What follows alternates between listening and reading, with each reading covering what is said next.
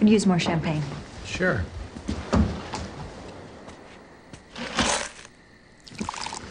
Who was that on the phone? No one important. How about a toast? To quickie divorces and quickier marriages. Look, Amanda. Shh.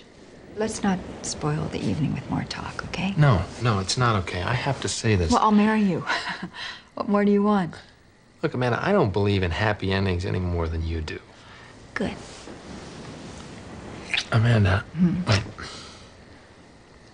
Look, I've been dating since I was 13. I never spent more than a couple of days without a girlfriend or a warm body.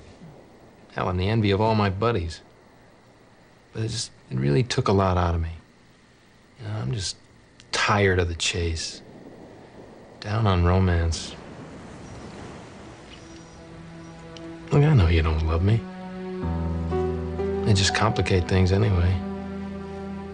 You and I can give each other what we need. And what do you think I need? Keep the big bad wolf away from your door. Kyle's not the type to give up easy. Hell, he's even calling you down here. What you need is a friend you can trust. Great sex, hmm. And what do you need? just the great sex. Take off your clothes.